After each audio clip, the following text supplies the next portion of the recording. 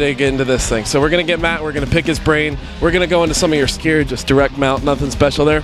Uh, it is kind of special in that uh, you can, electronics are located in the back. Uh, I find it's you know easy to wire. Everything stays you know kind of in. This looks like the Castle speed controller. You know, just little things that when you build the helicopter, it looks nice. And the motor and watch your tail gears go just by doing that, right? Yeah, I mean essentially if you had a nice bracket, but you know it should be this smooth right out of the box with no tweaking. Nice. I get this.